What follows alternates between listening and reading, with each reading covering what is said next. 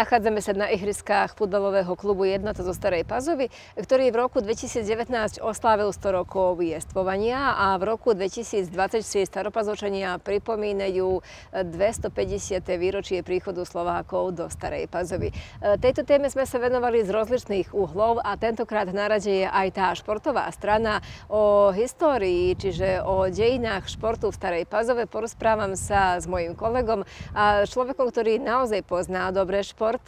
Je to Matej Vzovský, teda športový novinár, ktorý sa venuje tomuto dlhé roky. Vďaka, že sme sa stretli, že ste našli čas pre nás.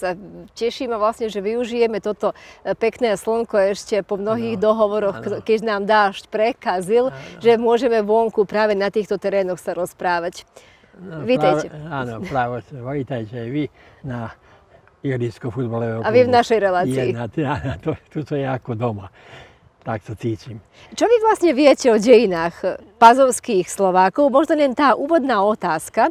250 rokov Slovákov v Starej Pazove. Či razom, keď prišli, e, sa zaoberali športom, alebo museli tvrdo makať, aby si vyrúbali najprv močaristú pôdu a začali žiť? Nebolo to tak rýchlo.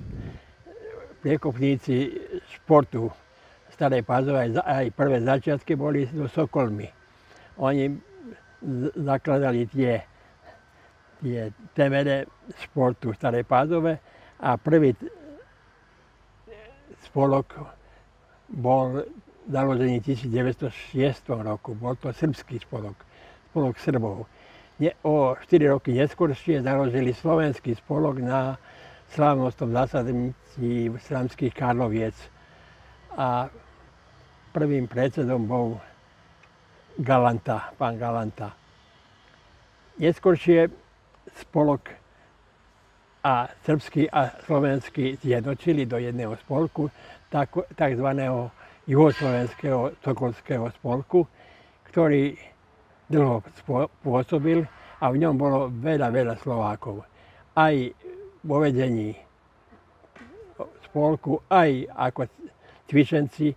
Takže na tomto poli sa naozaj Slováci zúčastnili a venovali tejto, tomto, tejto oblasti spoločenského života. Mhm.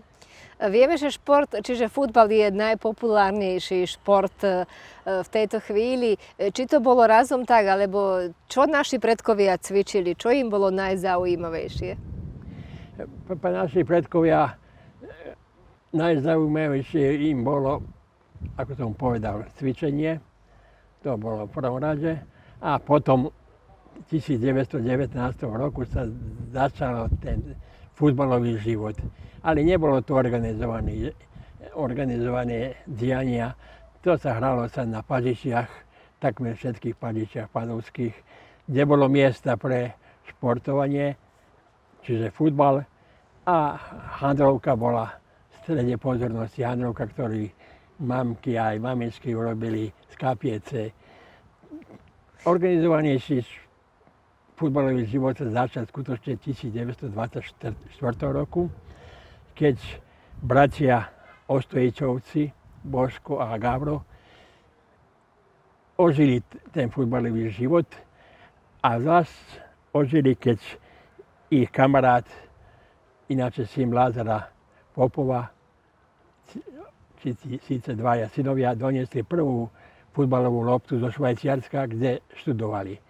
Vtedy sa začalo organizovanejšie trochu pracovať, ale nebola to ani taká práca, ktorá dovolila zapojiť sa do súťaží. Urobili sa tak miniatúrne ihrisko, jedno bolo tak na okraji Starej Pazovy, statívy sami si urobili a hrali čoskoro aj s druhou loptou, ktorú im pripravil z Kožušiny ten otec od týchto kasínov Gávra a Božka. Ináč nás, oni prišli sem Skupinova. Lopta bola kožená a vnútri bola, bol ten mechúr, čo po zabíjačke sme obyčne kopali. Tak o 4 roky, presne ešte 1928 roku, sa založila trocha, začala tá organizovanejšia činnosť. Prvý klub bol z Maj a prvým predsedom bol práve Slovak Jan Litavský, vtedy, vtedy známy polnohospodár. Neskôršie založili, či, či, či, čiže zjednotili tento klub do Sláviou, do športový klub Slávia, ktorý začal pravidelne tie súťaže tam v 1928 roku, keď ho zapojili do oblastnej súťaže, lebo tedy neboli obecné súťaže. Medzičasom vytvorili klub Obilič, v ktorom pôsobili žiaci, potom remeselníci, aj učňovia hlavne. Neskôršie, ale krátko to trvalo, založili aj futbalový klub Zanatlia. Slávia počiatku dobre pôsobila, zvlášť keď sa viac ľudí, ľudí zapojilo do, do práci a hovorím, opakujem, že tu bolo dosť veľa Slovákov. Bolo dosť e, športovcov v tom smysle, že bol záujem? Bol záujem veľa športovcov, ale hlavne ne, neboli to ani organizované tréningy ako teraz. Lebo hlavne sa zapojili tí mladí cez letné tieto prestávky, pri, keď prichádzali do školy, do Zemúna alebo do štúdií z Belehradu, tak cez letný, ten, letný oddych bolo najviac aktivít. Takže, ale už keď sa začala organizovanejšia práca, tak potom boli až 2-3 tréningy do týždňa. E, keď začalo to organizovanejšie, znamená to, že začali aj súťaže, aj hostovania. Bolo aj toho? Áno, začali súťaže. Hovorím o oblastnej ligy, kde hrala Slávia dosť zná, zná významnejšiu úlohu. Neskôr si založili Štefaník 1933 roku chcem povedať, všetky tie diania, keď od založenia klubov, aj, aj počas založení sa diali krčmách, uh-huh. hlavne padovských. U Rafajičevej krčmy, potom u Žejku, Ostojiče krčmy. Takže nebolo tých miestností. Jediná miestnosť, ktorá prijala ovaj, futbalistov, bola v Slovenskom, Slovenskej pospolitej čítárni, kde sa Slováci mladí stretávali a založili najprv klub Nitra, ale onedlho o 6 mesiacov zmenili klub a nazvali ho Štefaníkom.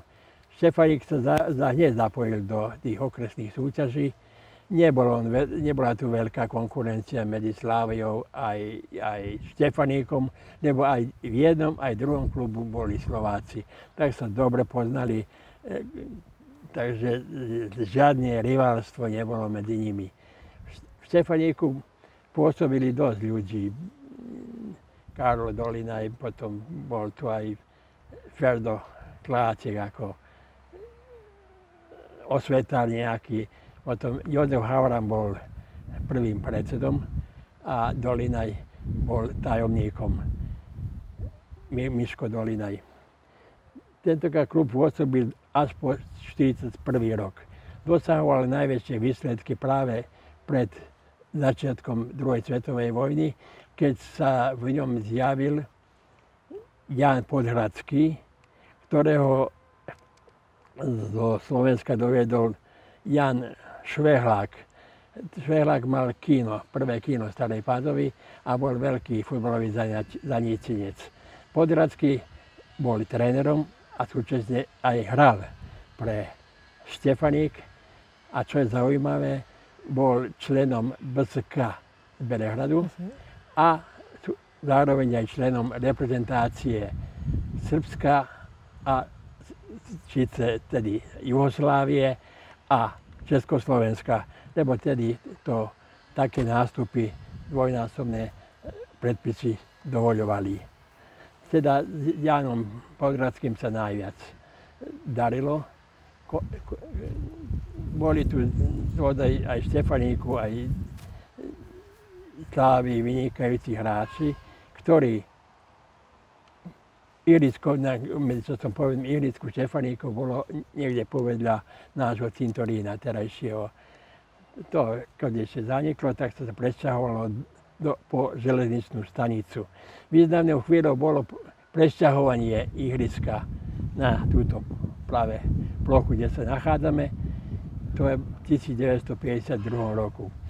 To je brigádnicky sa robilo, dovázali sa kočmi, koniami, tráva sa nerobila ako teraz, čo je to stroje za to, ale obyčajnými motikami a jášovami. Slováci a Srbi spoločne vybudovali aj túto ohradu. Čo viac, majiteľia týchto záhrad tu v blízkosti dali svoje, kus svojich pozemkov, aby sa ihrisko rozšírilo, lebo tu mhm. bola aj konský pľac tu bol na tomto mieste. Takže aj ten futbalový život pulzoval do 41. roku s rovnakými úspechmi aj Štefaníka, aj Slávii. Vojnové po... roky predpokladám, že všetko to narušili a zastavili. Pred vojnou činnosť bola zastavená. Pokúsili sa počas vojny urobiť, dočasne urobiť voľný futbalový klub PSK.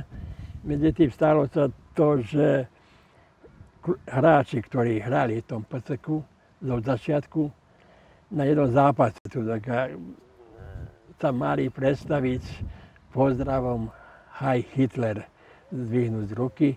Medzi tým oni to odmietli, obrátili chrbát a odišli z ihriska.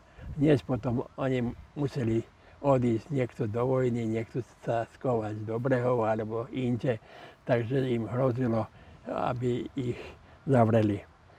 Po vojne, istotne to vás zaujíma, po vojne ten futbalový život sa začal v 1946 roku. Spolu to bol len spolok, športový spolok jednota, síce jedinstvo LIFAM, jedinstvo, jedinstvo jednota, tak dostalo meno aj doteraz, lebo slabo využívame. Prvým predsedom futbalového klubu, ktorý sa medzi časom vyčlenil z toho spolku, bol Svetozar Michajlovič zvaný, zvaný Cvetko, ktorý dlho pôsobil v klube, ináč známy veterinár, zomrel prednedávnom v Čortanovciach. Prvé úspechy jednota rýchlo zaznamenala. Už v 1951 roku sa získal sa pohár v Vojvodine. Uh-huh. To bol asi najväčší úspech jednoty. Bol to zápas, ktorý sa hral na ihrisku teda ešte Slogy a dnešnej Vojvodiny Novom Sadže. Tak je tam išla, veľa, veľa fanúšikov išlo.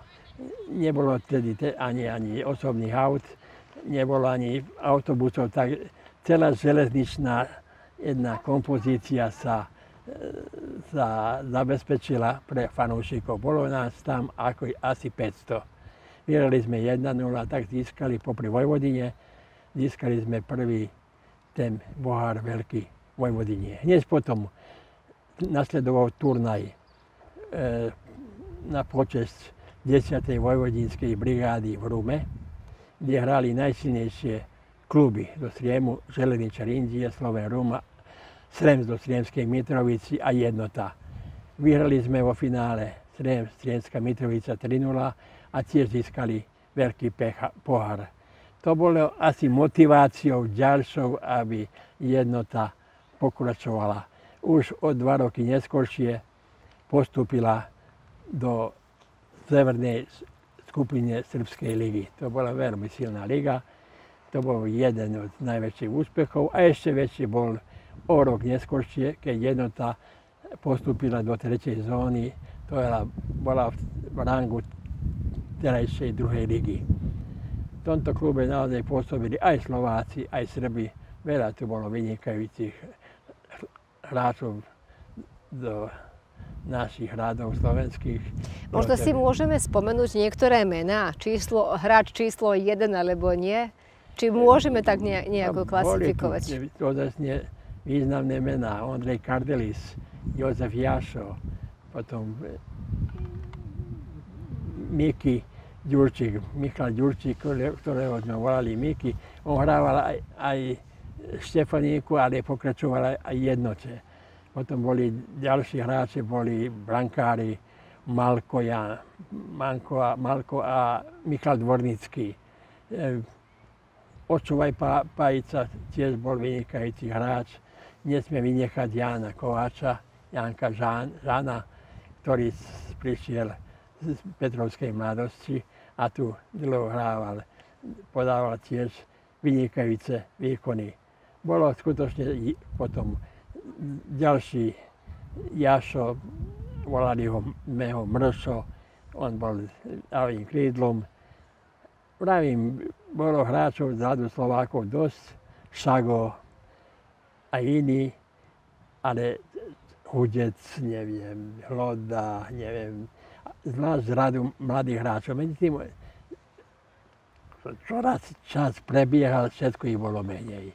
Takže sa stalo, že teraz nedajšie jednoty máme ni, málo Slovákov, takmer ani jedného Slováka nemáme, ale jedného staropadovčana, brankára Jovičiča, aj občas sa zjaví nejaký mladší hráč.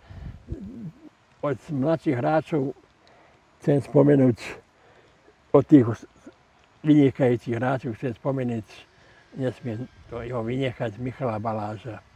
Bol vynikajúci brankár, ako mladý chlapec, 18-ročný, odišiel do Novosadskej vojvodiny.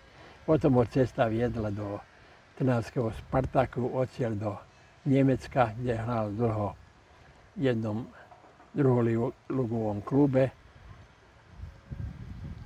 tiež vynikajúcim menom od Slovákov bol už spomenutý Jozef Jašo.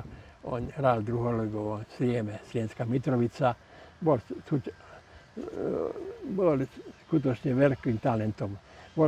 Jana Malku, povedzme, volali do Vojvodine brankára, boli tiež dobrým brankárom, ale ťažko títo naši ľudia, chlapci odchádzali vonku.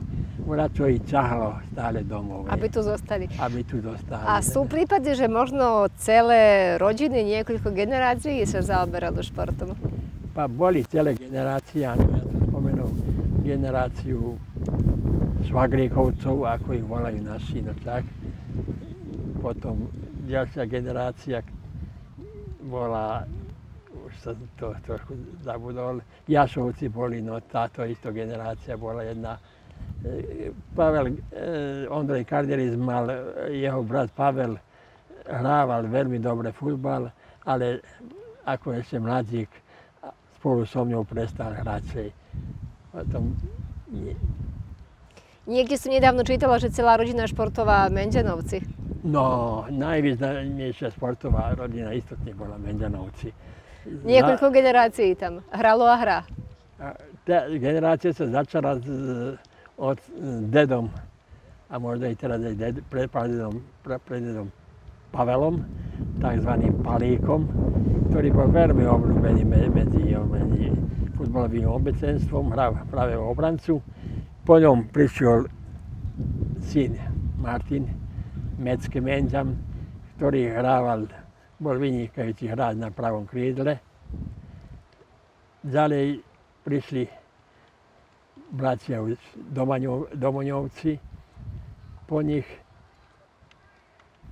neviem, už ďalšie rodiny neboli. Medžanova bola skutočne najväčšia rodina Padovská, lebo dala najviac futbalistov.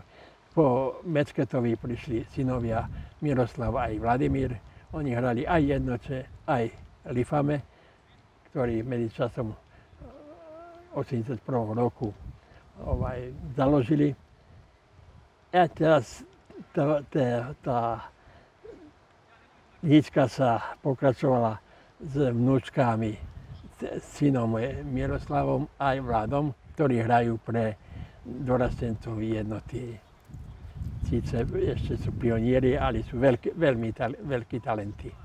Stále hovoríte nejako o futbale vlastne. E, bývali tu aj iné športy, býval tu, vlastne bol tu aktívny Sokolský spolok, e, neskôršie sa to volalo Pionier alebo Partizan vlastne.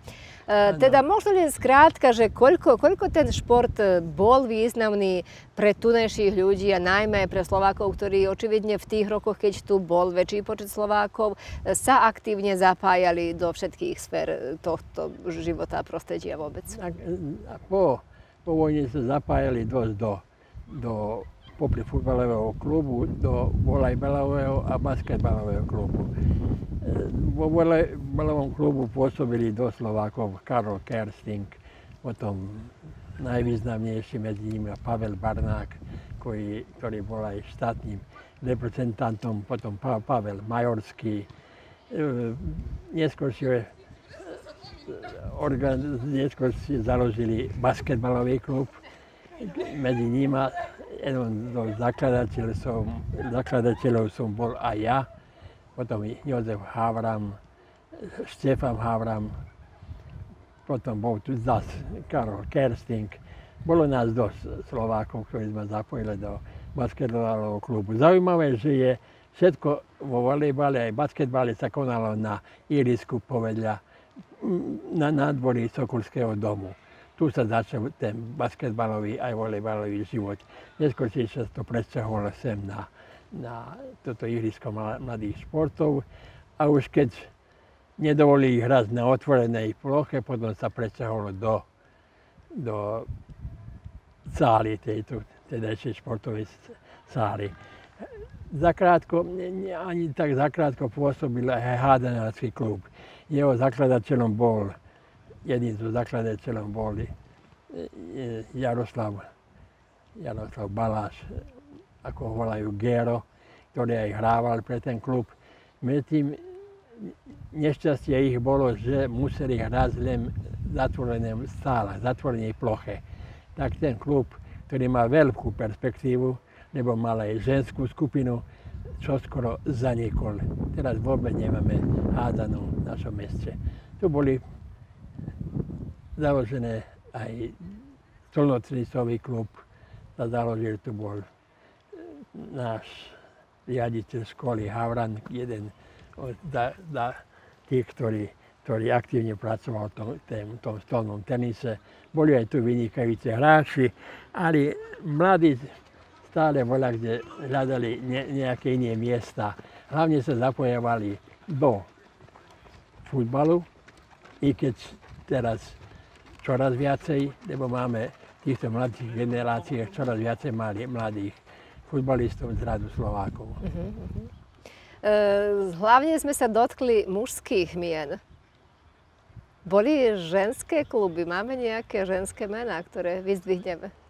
Ma, každopádne musíme e, kvitovať úspech volejbalistiek, ktoré, ktoré pôsobili v rámci celovýchovného spolku Partizán. V čele volejbalistiek bola Náda Vadnalová, teraz Takáčová, ona bola kapitán mužstva. Volejbalistky skutočne dosiahli najväčší úspech. Tedy nebolo ligová, ligo, ligová, li, li, ligová súťaž, ale sa hrali tontoka v rámci tohto spolku tak na súťaži v Skopri, veľmi masovo súťaži, naše dievčatá obsadili prvé miesto. Hovorím, Náda bola kapitánom mužstva. Po získaní tejto tituly prijali ich aj v svojej rezidencii teda si predseda Gligorov, tak sa volá, nie, nie, no, tentokrát bol predseda teda, no... Teda, Nespomeniem si. Áno, predseda Macedónska. Uh-huh. Áno. Takže ovaj, ženi, ja si nepamätám, bolo žien dosť v tomto Sokolskom spolku. Boli tu významné mená, ja mám ich za, za, ne, za, zapísané, ale, ale povedzme Ječmeňová bola, ona bola vedúca tam spolku. Potom ďalších, ďalšie mená sú céry Pavela Barnáka. Medzi tým oni po úspešnom nástupe v prvoligovom mužstve opustili cerku, nie, mladšia opustila volejbal a staršia e, hrá ešte v Indii druholigovom mužstve. Mm-hmm. Takže do týchto spolkov, do basketbalového spolku ženského nebolo žiadnych Slovákov a volejbali, hovorím, najvýznamnejšie meno predsa bola Náda Vadnalová. E, vy ste vlastne živá encyklopédia. Neviem, či možno aj rozmýšľate o tom, aby ste všetky tieto vaše spomienky dali do jednej knihy? Či nie? Lebo sa bojím, že my v tomto rozhovore nespomenieme všetko a všetkých. Ja som o tom rozmýšľal veľa, keď e, mali, oslavy, mali byť oslavy 100 rokov výročia, 100 výročia futbalu. Mňa sa nespamätali, ale projekciu dá, mal urobiť vás. Už neboli, neboli kolega. Dragan? Dragan, áno. Po jeho smrti, čo ma veľmi dotklo, lebo bol naozaj skutočný dobrý kamarát aj kolega. Po jeho smrti mne tak pred dvoma rokmi, alebo aj menej, núkali, aby som urobil ja nejakú projekciu. Ale to, na to bolo málo veľmi času lebo robiť monografiu jednu, to treba veľa, veľa rokov, najmenej 5 rokov. Tu načím navštíviť aj redakcie, aj archívy rôzne, takže to ťažko bolo robiť keď hovoríme o teda futbalovom klube Jednota a keď vôbec všeobecne hovoríme o športe, e, chcela som, aby sme sa dotkli cez, cez dejiny od príchodu Slovákov na tento priestor až do dnešných dní. E, je ozaj veľa tém a rôznych oblastí zo športu, ktorým by sme sa mohli venovať. No to, čo mňa ešte zaujíma, vy ste pôsobili ako novinár, e, rozmýšľam teraz, že aj keby by sa všetky vaše články z hlasu ľudu dali dokopy, tak už je to celá jedna veľká kniha. Vy ako Slovák pôsobili ste, aj teraz ste tu na počujem vás aj v rozhovore s týmito mladými hráčmi, kamarátsky vzťah máte s nimi. Pre vás ako Slováka, čo znamenalo pôsobiť tu v tomto prostredí? Bolo to veľký pôžitok, skutočne. Ja som od detstva sa venoval futbalovi, keď som založil basketbalový klub tak sú tu moje korenie práve v tomto klube. Ja som začal robiť v klube ako 18-ročný. Ako dieťa, dieťa som bol mecena. Tak ma ujedli aj do pivníc, aj na rôzne hostovania. Išli sme tedy kamionom. Takže neskôršie mi ponúkli, už som tedy bol 20-ročný, aby som bol tajomníkom. Tak som bol asi najmladším tajomníkom klubu a potrvalo to až 35 rokov. Neskôršie prišli mladší ľudia. Zavadalo mi najmä to, že sa do, do futbalu a vôbec do športu za, zamiešala politika. Takže tých opravdových športových pracovníkov, ako povedzme Jan Kiš, aj Jaroslav Baláš, Gero, je čoraz menej jeden čas pôsobil Michal Baláš ako predseda klubu a jemu to aj patrilo, bol predseda klubu, lebo mal skutočne bohatú kariéru. Medzi tým nebolo, neštimovalo to ako najlepšie. Spolupráca vy, vy, nebola tom na tej úrovni, ako čo Miško očakával, tak sa on toho vzdal. Miško ináč bol aj trénerom mladých hráčov, aj chytal túto jeden čas. Takže z jeho, z jeho rúk vyšli dvaja vynikajúci brankári, terajší Jovan, tento Lazar Jovičič a jeden, čo chytá, taká travica, čo chytá za Sema Svojka. E, keď tak, e, koľko je to v tejto chvíli možné, narýchlo rozmýšľate o, o celkových dejinách športu a najmä tohto klubu, ktorý je vlastne vašim, môžeme, kde sa cítite ako doma na svojej pôde. E, ktoré boli roky najúspešnejšie a ktoré také najťažšie? Ale najťažšie z najmenej aktivít. Áno. Úspechov. Najúspešnejšie, najúspešnejšie roky boli tie, ktoré som spomínal, kedy získali sme tie poháre aj tá Severná Srbská liga, potom tretia zóna. A pôsobili sme až 12 rokov v veľmi kvalitnej vojvodinskej ligy. To nebola ako terajšia liga. V tej lige pôsobila aj Kikinda, aj Vrbás, aj dvaja týmy do, do Subotici. Potom do Somboru, z Reňaninu. Boli to skutočne kúla tiež. Boli to skutočne silné mužstva. Dlho sme drevo sme akoby po, povedať tavorili tej Sriemskej ligy, potom Novosadsko-Sriemskej ligy. V jednom roku sme sa, koľko sa pamätám, pamätám 1993 4. dostali na prvom miesto Sriemskej ligy aj vízum dostať sa do Vojvodinskej ligy, ale vyniesli rozhodnutie, že majster nemôže postúpiť, nie z ktorých dôvodov. Dostali najväčšie spomienky kvalifikačné stretnutie o postupe Vojvoďanskej ligy. Tie vyvolali veľký záujem. To ihrisko bolo malo malé, tieto tribúny, aby prijali všetkých fanúšikov. Tie kvalifikácie nám priniesli viac úspechov a menej neúspechov. Posledné boli jedinstvom Banáckého Kálovca, keď sme vďaka úspechu na domácej pôde postúpili do Vojvodinskej ligy, ale už v následovnom roku sme zostúpili práve preto, že tu vplyv mala politika. Tedajší predseda Slovo Jovanovič, ktorý, ktorému slubovali hory, hory doly pomoci, a kto, ktorý bol aj predseda, keď sme e, postúpili do vojenskej ligy, zostal takmer sám, bez žiadnej podpory na konci aj žiac, tie futbalisti ho nechceli prijať v tom zmysle ako tou autoritou, lebo nebolo peniazy na vyplácanie tých úhrad. Neboli to veľké úhrady, ale predseda ich, nemo, predseda ich nemol, nemohol zabezpečiť, tak hráči štrajkovali. Tak na posledné dva zápasy nechceli ani odísť, ale horko, ťažko ich nahovorili, aby zakončili, aby nebola veľká hamba, aby zakončili majstrovstvá.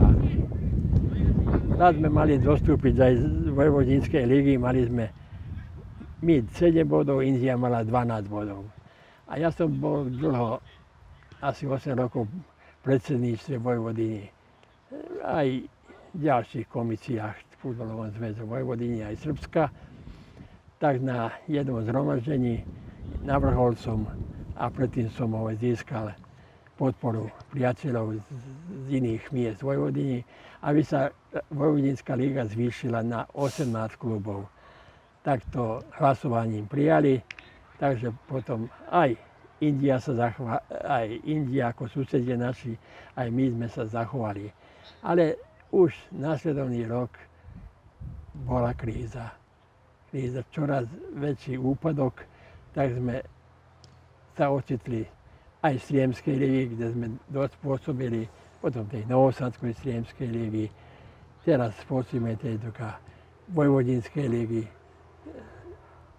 teraz asi pôsobíme Srbskej lígy, pardon, a v Lani Vojvodinskej lígy skupina, skupina eh, juž, južná. A môžem povedať, trochu je a nešikovne to dôrazne, že sme na malé dvere postupili obsadili sme síce 7. miesto, ale neviem z, akých dôvodov Adam viac sympatí voči.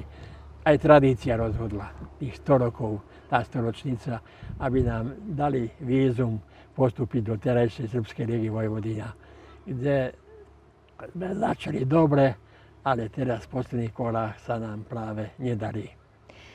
Tak to je vlastne e, skrátka história pazovského športu, najmä futbalu v rozhovore teda s vami.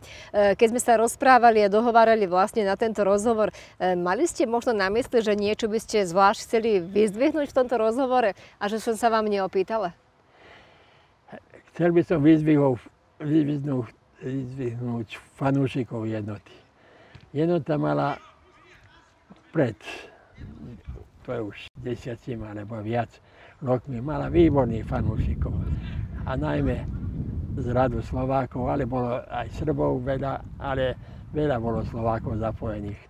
Ja sa pamätám, na hudec sa volali o Činkelu, potom Švábu, potom, a najväčší z nich bol, bol Bači Janko Hrebík. Oni mali krčmu tu v blízkosti tohto štádionu. To, bol, to bolo stredisko všetkých futbalových udalostí, čo sa diali v tom čase. A keď sme mali aj najväčšie úspechy. Aj pred zápasom, aj po zápase. Pred krčmou bolo veľa ľudí, lebo tam ich mala miesto, nemohla všetci, všetkých prijať. Vo, dvore, vo dvore boli kapia dve, dve, otvorená. Bolo tu Bačianko bol taký zaniecinec, že pripravoval aj dopravu pre fanúšikov, autobus pripravoval. Takže jeden istotne najväčší fanúšik, ktorý do poslednej chvíli sa venoval jednoty, bol Bačianko Hrebík. E, tak teraz, keď rozmýšľam, vlastne e, všetko sa začína v krčmách. Aj divadlo ano. sa začalo v krčme, aj, aj šport sa ano. začína v krčme. Ehm, sú toto zaujímavé všetky údaje, čo ste nám poskytli. Veľmi pekne vám ďakujem, že ste sa zúčastnili v tejto relácii, ktorá je vlastne iba malým prínosom k veľkému jubileu staropazovských Slovákov žijúcich Jasne, na tomto území. Urobiť celá rozpr- dlhá rozprávka o živote, ovaj, športovom živote aj našich Slovákov, ale skutočne málo času. Možno sa stretneme inýkrát a e, dotkneme sa iných tém. Hej. E, práve o tom rozmýšľam, že naše kamery sú tu navždy pripravené na to, aby zavítali k vám alebo vy k nám. Keď, keď budete mať e, na mysli, že sa nejakej téme treba venovať, tak... Rád sa zapojím, rád sa zapojím a pozdravujem vašich poslucháčov. Ďakujem ešte raz veľmi pekne. Teda bol to Matej Bzovský, náš staropazovčan, veľký znalec športu, najmä futbalu na týchto priestoroch Starej Pazove, ktorá si v roku 2020 pripomína 250 rokov príchodu Slovákov do Starej Pazovy a určite, že aj šport je jedným z dôležitých segmentov života vôbec, keď ide o históriu a o dejiny hoci ktorého prostredia.